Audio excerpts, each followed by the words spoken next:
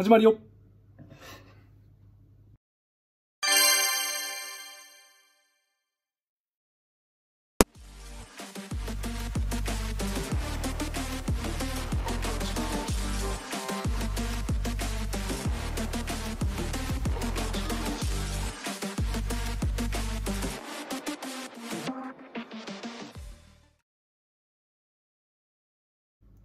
皆さん、こんにちは。ワンナップトレーナー、ふやです。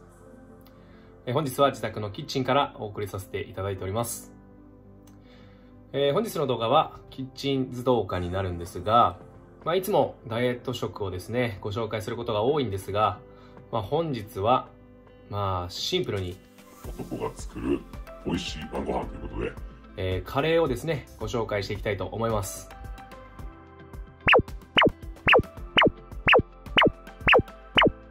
いつも使っている、えーカレー粉にある調味料を付け加えることで非常に美味しいカレーに仕上がるので今日はですねいつも私が作っているカレーを皆さんにご紹介したいと思います、えーまずはじめに言っておきますがこちらはダイエダイエット食ではありません。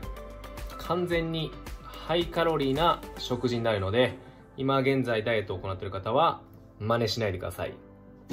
はい。むしろ、えーバルクアップをしている方や筋肉をつけるために、え今食事をしっかりとっているという方がですね、美味しく食べれるような食材になっているので、えーそういう方はぜひ参考にしてください。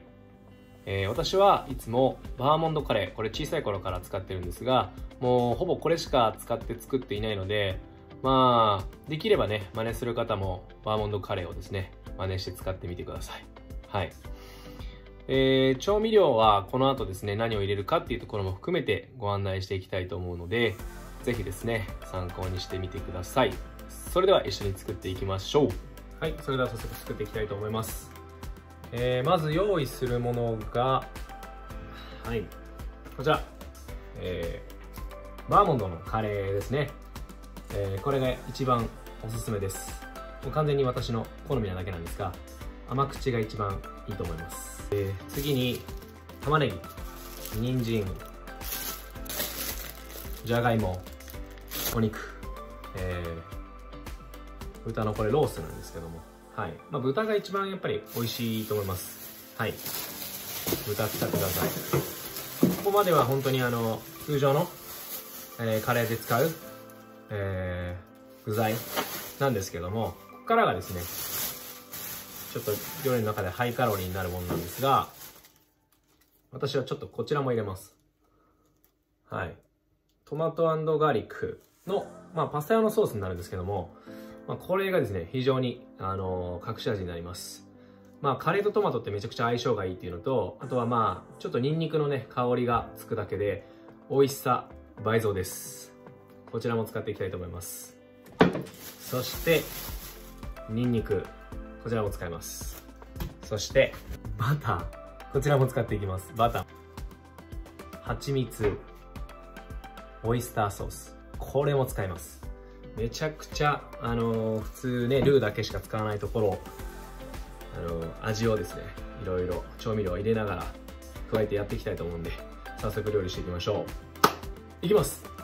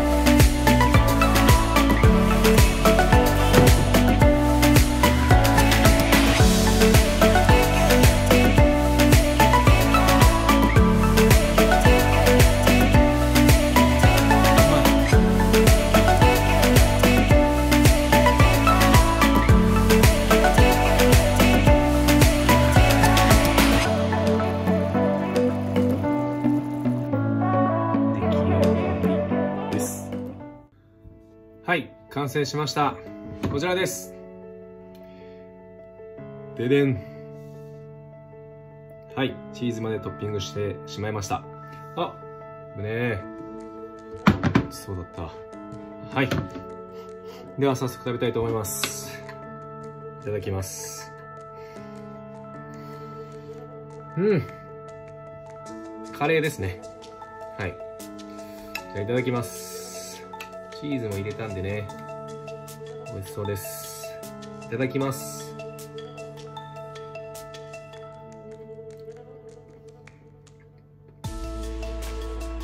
うん。うまい。美味しい。毎回うまいしか言ってない気がしますけど。うまい。それしか言えないです。あふ持ち手が熱い。美味しい。やっぱ味がねこういろいろ入れたんでねこう深みがありますね味に。うん。私は蜂蜜とあとニンニク。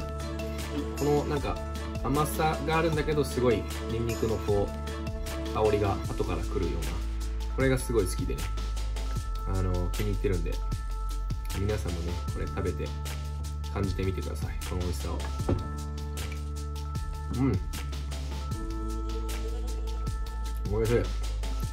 これはねめちゃくちゃエネルギー充電できるんでバルクアップしたい方あとは体を大きくしたい方必見なんでねぜひ食べてください。ということで、えー、本日はですね、えー、美味しいカレーを作るということで、えー、ご案内していきました。あの何ら難しくないです。むしろ調味料が、えー、ある方はすぐできると思うので皆さんも真似してみてください、えー、いいなと思った方は高評価そしてチャンネル登録お願いします。それではまた来週。バイバイ。